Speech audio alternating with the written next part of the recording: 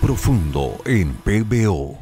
El Inti Raimi, o Fiesta del Sol, era la festividad más grande, más importante, espectacular y magnífica, llevada a cabo en los tiempos del imperio del Tahuantinsuyo, el cual basaba su religión en el culto al sol. El Inti Raimi fue creado para rendir culto al Apu Inti, dios sol, también conocido en ciertos sectores como Apu Punchau, Dios Día. Durante la época de la conquista, los súbditos del Inca siguieron festejando la fiesta a escondidas de las autoridades españolas y un mestizo llamado Garcilaso de la Vega recopiló lo mejor de esta fiesta y lo plasmó en su famosa obra Comentarios Reales. La entrada del Inca a la Plaza de Armas o a la explanada de Sacsayhuamán estuvo siempre presidida por un grupo de acyas que rociaban flores y a su vez estaban acompañadas de los pichac,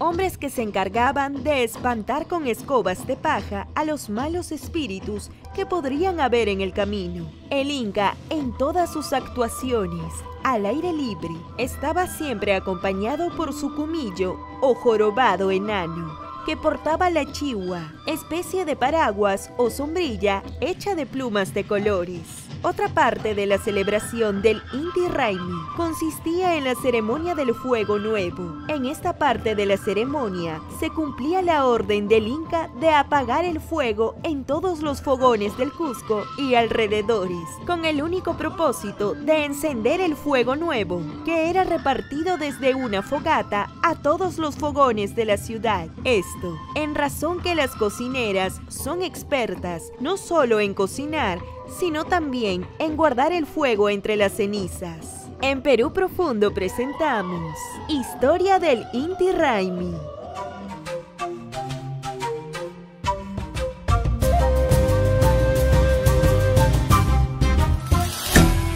Perú Profundo en PBO.